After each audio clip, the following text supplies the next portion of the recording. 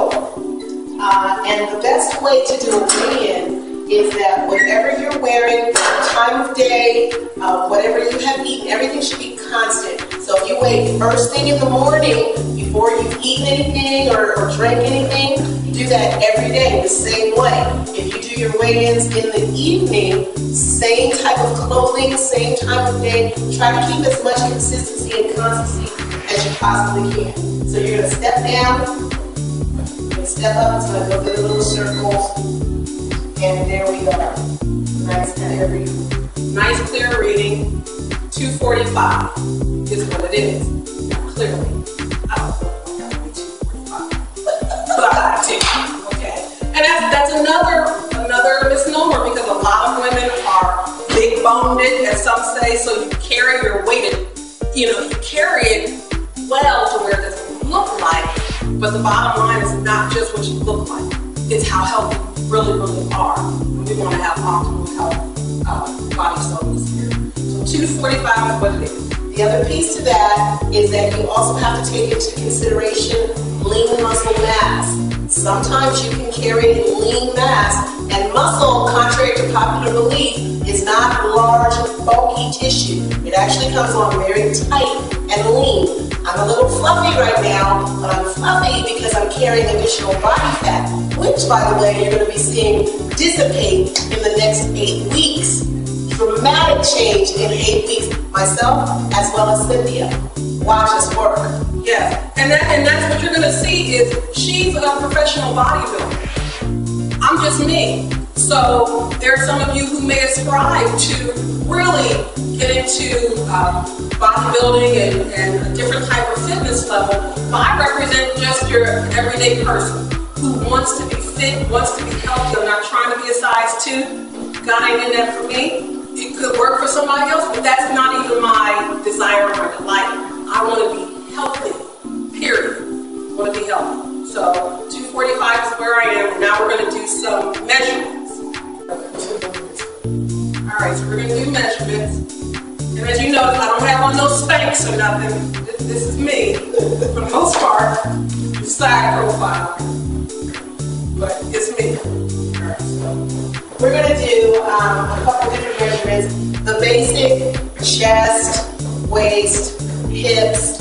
Uh, we'll do also a right arm and a right thigh. We'll even do a calf measurement. From these measurements, you're also able to um, calculate body composition to an extent. And that's where we can identify how much of her weight is actually lean mass and how much of her weight is fat mass. We'll start with tape measure, but the caliper measurement sometimes is a little bit more accurate as she begins to lose uh, the body fat and we can actually get a good caliper measurement. So we're going to start with the tape measure. We're going to go arms out just a little bit here, right across the back. Arms down to your side, just nice and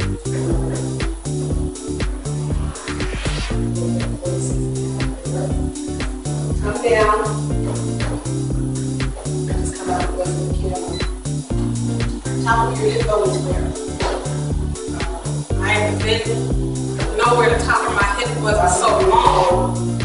So we go to the middle. The waist measurement is actually halfway point between the top of the hip bone and the bottom of your ribs. So that's where your actual waist is. Some people just try to find the smallest point, but it's actually that halfway point. And that's good to know because, again, since that was the smallest point, I felt like that was probably the best point. Because that's the point I want to take it. because the umbilicus point where the belly button is, She's house, she's much my take. Okay. We have been letting it all hang out. But in 2013, we're sucking it all in. Praise Jesus. Okay. Voices now. Okay. We're also going to do, excuse me, please excuse my back.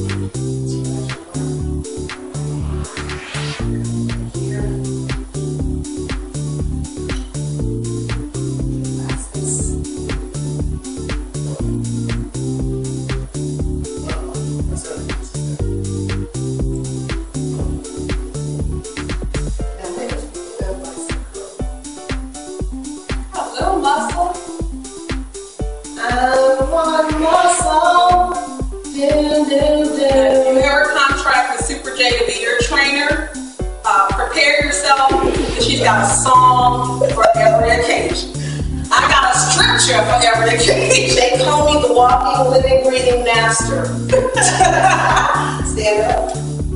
Can you turn towards me a little bit? Turn towards me a little more. Just let's just straight.